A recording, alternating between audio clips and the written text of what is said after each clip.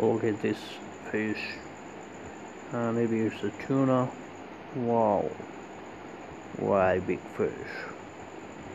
It's a big tuna fish. Sea fishing